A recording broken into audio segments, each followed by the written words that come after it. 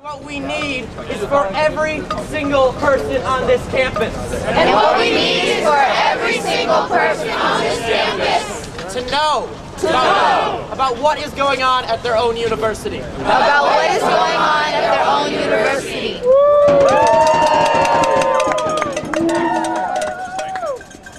My name is Alex Hastings. My name is Alex Hastings, And I go to Barnard College. and I go to Barnard College, And I am here and I am here because the administration because the administration has ignored any attempts to achieve transparency, has ignored any attempts to achieve transparency, ignored the grievances of the workers. Ignored the grievances of the workers. At Faculty House, at Faculty House, and ignored the demands. And ignored the demands for a living wage, for a living wage 80 hours a week, that 80 hours a week is unjust is unjust and inhumane. and inhumane.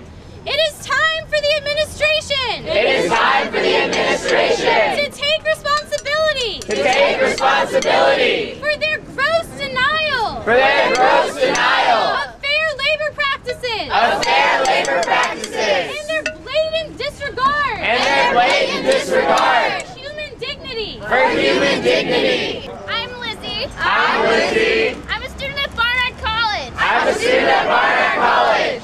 When this movement started, When this movement started, we were a group of students we were a group of students who organically came together who organically came together to support the workers at Barnard College. at Barnard College. The movement grew The movement grew as the Barnard workers as the Barnard workers won their victory. won their victory. And we swung our focus And we swung our focus to economic injustice to economic injustice in our community in our community at Indus Valley. at Indus Valley. Now, Now, we find ourselves we find ourselves here today. here today. Our ranks have swelled Our ranks have to include workers, to include workers, community members, community members, faculty, faculty, grad students, grad students, all of us united. All of us united. In the common goal. In the common goal. Of fair, of fair,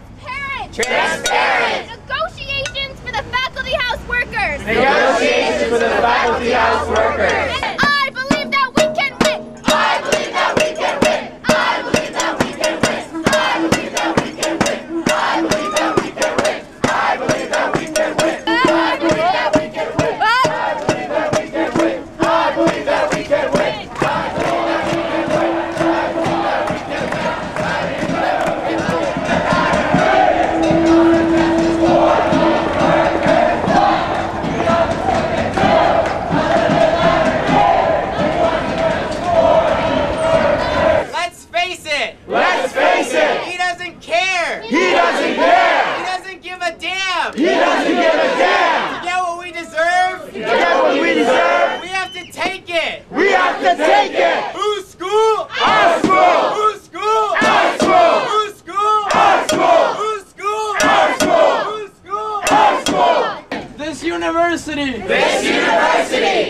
Management and management are participating. Are participating. In unending hypocrisy. In unending hypocrisy. When they send out security to all of our actions, when they send out security to all of our actions, when they talk down to the workers and the students, when they talk down to the workers and the students, when they maintain sweatshop conditions on campus. when they maintain sweatshop conditions on campus. They're in direct contradiction They're in direct contradiction with their self-proclaimed purpose, with their self-proclaimed purpose, and they know this. and they know this.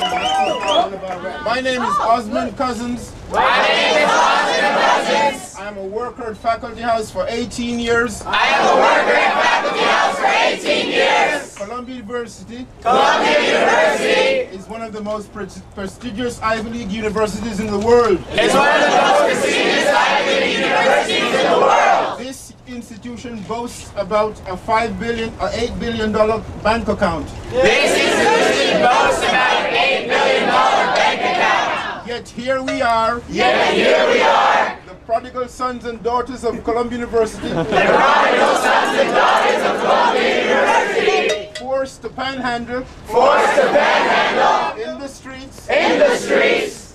Grabbing the attention of the community. Grabbing the attention of the community. Fighting for living wages. Fighting for living wages. Our health insurance benefits. Our health insurance benefits our earned and deserved 22% service charge. Our earned and deserved 22% service charge.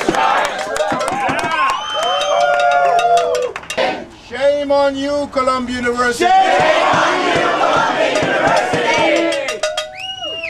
Eminent domain. Eminent domain. The new name for piracy. The new name for piracy. And the creation of Manhattanville. And the creation of Manhattanville. Is more important to Columbia University. Is more important to Columbia University. Than human beings. Than human beings.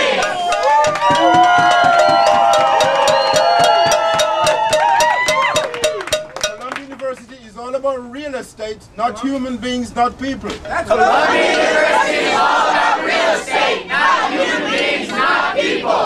Shame on you. Shame on you.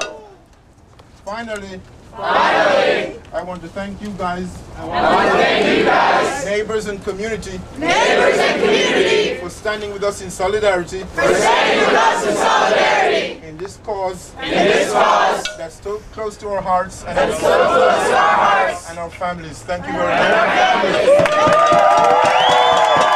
Because we know because we know that Columbia that Columbia makes a whole lot of money. makes a whole lot of money That a whole lot of money and a whole lot of money is not going to the people it needs to go to. is not going to the people it needs to go to. Again, we will not stop fighting. We will not stop fighting. This is just the beginning. This is just the beginning. I'd like to explain something quickly. I'd like to explain something quickly. An attack of the employees is an attack or community. An attack on employees is an attack on our community. An attack of worker is an attack of student. An attack on workers is an attack on students. Students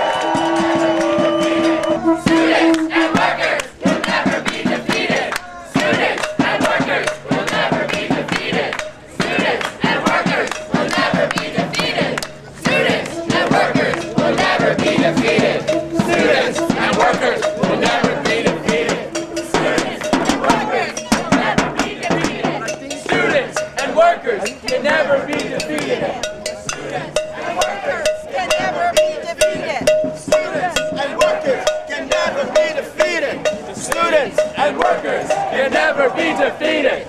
Students and workers can never be defeated. Never be defeated.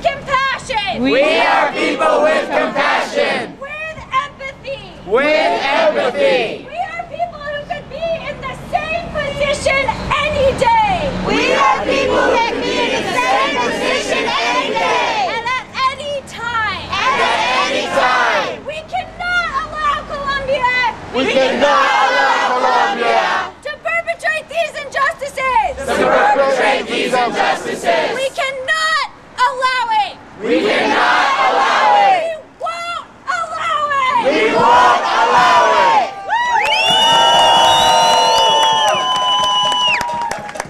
Let's hear it for 1199. They came out in solidarity. And uh, my friend Nelsa here from the cafeteria took her day off to come and speak with us.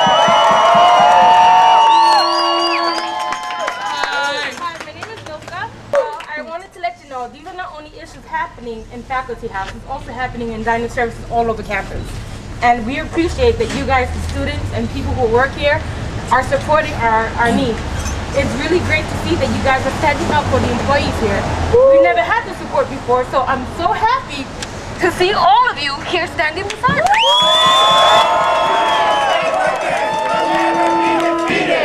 Students and workers will never be defeated. Students and workers will never be defeated.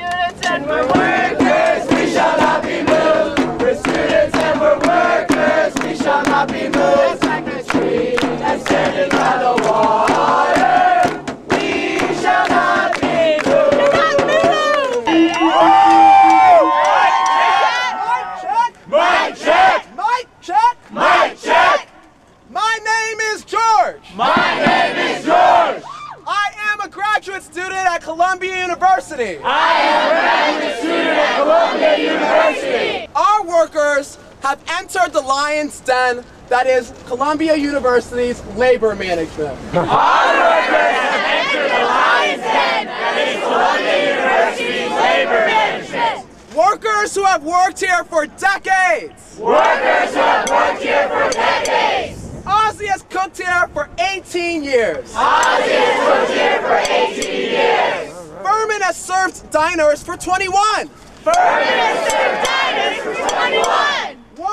One for 23. One for 23. A sous chef, Addie, A sous chef, Addie, has worked here for 29 years. has worked here for 29 years. Strong men and women Strong men and women from every background from every background banding together for justice. standing together for justice.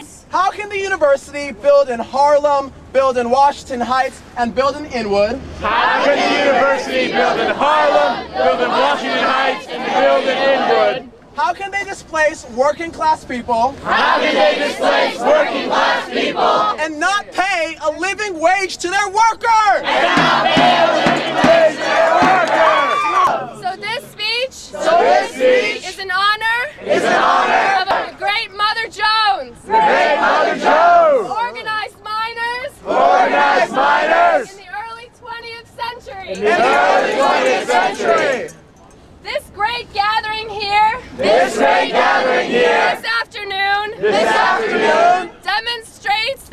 a deeply rooted wrong demonstrates that there is a deeply rooted wrong at Columbia University. at Columbia University. The people here The people here are not listened to. are not listened to. Only the profit margins Only the profit at margins Faculty House at Faculty House got a hearing. got a hearing. President Bollinger President has Bollinger not responded. has not responded. Columbia refuses to negotiate. Columbia refuses to negotiate. We're workers who have built a career in the culinary industry, We're workers who have built a career in the culinary industry. worry about putting food on their own tables, We're about putting food on their own tables. where they work 80 hour weeks Where they work 80 hour weeks and see little of their children. and see little of their children. Let's take possession Let's take possession of this university, of this university. This community. Of this. Let's make Let's make this school this school ours. ours. And I have been at Columbia for about 30 years, and I've seen many struggles like this. Unfortunately, it's in the DNA of the administration that they always seem to take the wrong position when it comes to labor issues. Right. There have been a lot of such struggles, and in every one that was successful, student support and faculty support was crucial. Yes. And there's a lot of faculty who are also behind you and behind the workers, and I'm sure this struggle will also come out victorious. So thanks.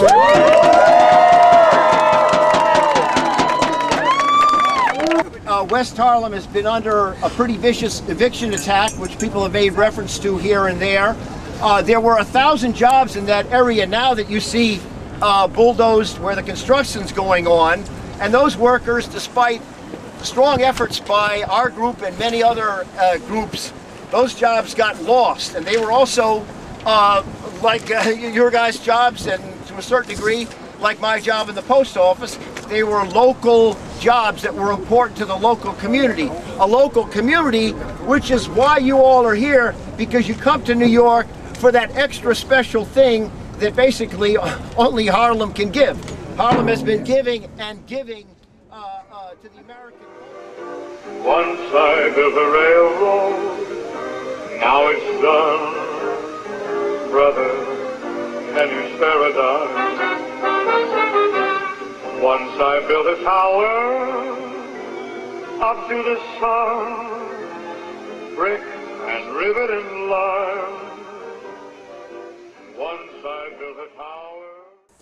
Can you spare a dime? Brother, can you spare a dime?